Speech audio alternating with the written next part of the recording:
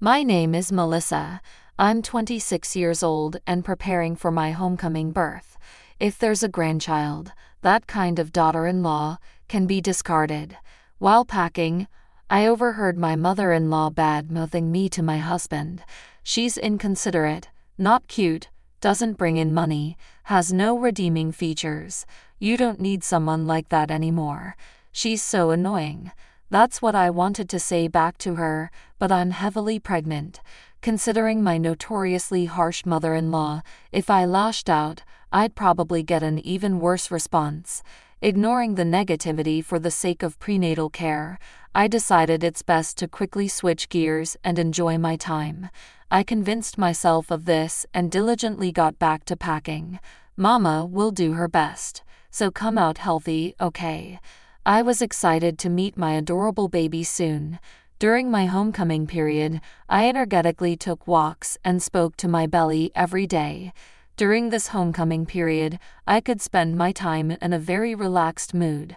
My mother in law, who comes without notice, overstays her welcome, criticizes the food, complains about the nursery I've prepared for the baby, just keeps complaining about anything and everything.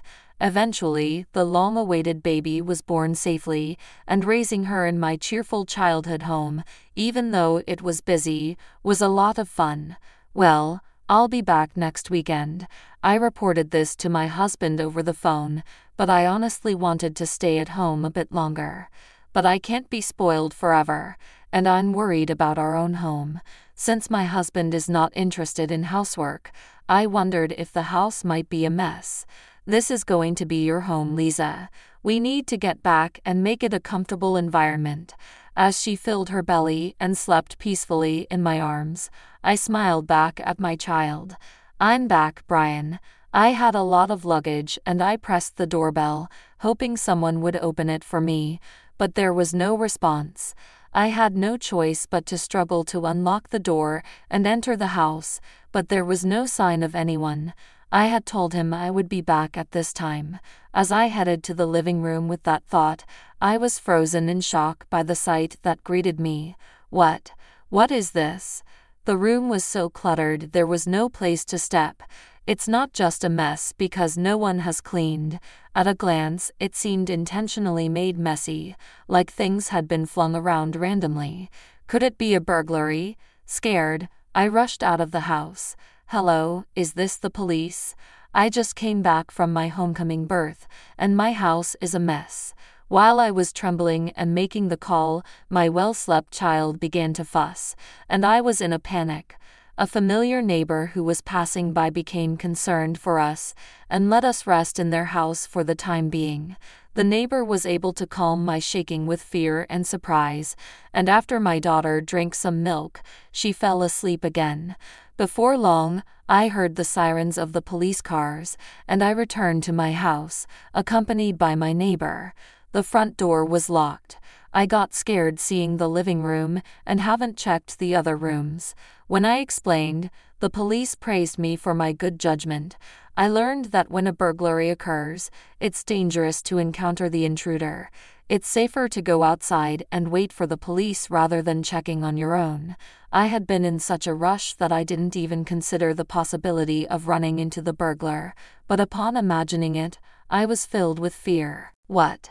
What's this? Why the police? The sure voice echoed when I had just finished explaining the situation. Oh, it's a terrible situation. Mother in law. Our house is in a complete mess. We suspect a burglary, and the police are here to investigate. Before I could finish my sentence, I felt a harsh slap across my cheek, which made my vision sway amidst the commotion of the neighbors and police. I instinctively held my stinging cheek while my mother in law, her face flaming red, shouted loudly, You shameless woman! How dare you do this? A burglary, you say, and to call the police? What were you thinking, huh? I was stunned, unable to comprehend the fury of my mother in law, coupled with the throbbing pain in my cheek. A neighbor stepped in to mediate, telling her that calling the police is not something to be ashamed of, and that investigating is the police's job. But she wouldn't listen. Really, you're so irresponsible. You might be home for childbirth or whatever, but you left my dear Brian alone and went back to your parents' house. You're nothing more than useless if you're not home doing housework. And what's more, the moment you return, you create a police commotion. You're indeed an outstanding wife. Despite everyone around explaining that it wasn't my fault, she wouldn't listen. I was trying to get my head around it when a thought struck me. Even though we may have been burgled, you're not concerned about any losses. And besides, it's the first time you're seeing your grandchild, yet you don't seem interested. Why? Everyone around me nodded in agreement with my words. That's because it's not time for that. How dare you blame me without even apologizing? My mother in law ignored my question completely, insisting on her point. Mom, what's going on? Brian, my husband, cut into the argument, seemingly relaxed. Brian, you see, listen to this. It's terrible. The appearance of her beloved son put a gleeful expression on my mother in law's face. Melissa seems to have called the police. Huh? Why? She's been saying there's been a burglary. There's no way that could be true, Brian. Please tell her not to behave so absurdly.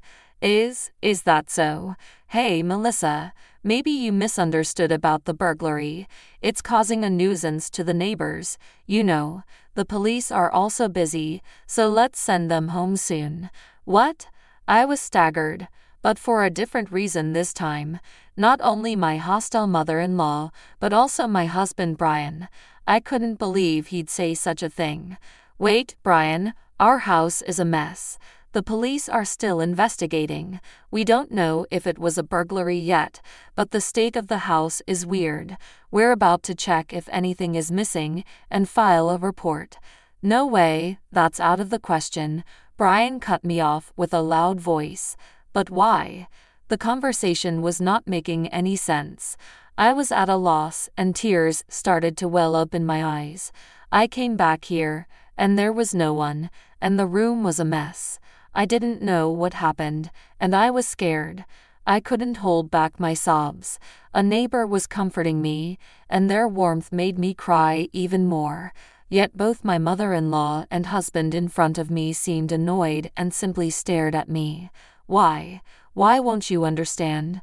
My heartache seemed to have reached my daughter, who was asleep, as she started crying too. This only irritated my mother in law and husband even more. With the kindness of the neighbors and the concerned look of the police, I ended up staying over at a neighbor's house that night. Stolen things. I don't know. Melissa's just making a fuss. Let's go inside. Yeah, Melissa, cool your head off. My mother in law and husband seemed not to care about the mess and quickly went inside after the police finished their investigation. I didn't think he was that kind of person. Standing in front of the closed door, I remembered my husband's words. My mom still thinks I'm a kid, and it's super annoying. I generally go along with her just to avoid conflict, but it's really a bother, even though he used to say such things. However, I couldn't just stand there forever. After apologizing over and over, I ended up spending the night at my neighbor's house. Mom has to be strong. I'll do my best, I said to my daughter, who was finally falling asleep despite being fussy. The next day, when I headed home, my mother in law and husband were there. Mother in law, did you actually sleep here even with everything in such a state? The living room was somewhat cleared for them to sit, but it looked no different from the day before. I had checked the other rooms with the police, and it seemed as if stuff had been dumped out of the storage in all of them. The sight was the same everywhere. Despite constantly complaining about my cleaning, my mother in law had actually stayed in the house in that state. She hadn't started cleaning or anything, she just sat there looking grumpy. What do you mean, did you actually? I felt sorry for Brian, who was left by his wife, so I couldn't go home. Her words got to me, and I retorted, It's not that I left. It's that you didn't listen to what I was saying. What? What a way to talk. My mother in law's face quickly turned into one of anger. Brian cut in from the side. Also, stop making a fuss about a burglary. Has your head cooled off? He said it in a way that was annoying, and I felt something snap inside of me. That's right, it's not like we were burgled, right? I was surprised at how low my voice sounded, but Brian didn't respond to my angry tone. He just smirked a bit. Yeah, finally understood. That's right, you were overreacting about the burglary. Anyway, start cleaning. Brian said it as if it was someone else's problem, and my mother in law also raised her chin in a triumphant way. Housework and childcare are a wife's job, aren't they? My mother in law said this in a sickeningly sweet voice, as if talking to a pet. What? I'm not cleaning up. It's your mess, so you should clean it up. I shrugged at the two of them looking down on me. Excuse me? As expected, they didn't seem to like my response. You're such a nasty wife. Get moving already, my mother in law snapped at me, huffing and puffing. What a pain, my husband grimaced. In front of them, I handed them the divorce papers I had received and filled out first thing in the morning. I want a divorce. Huh?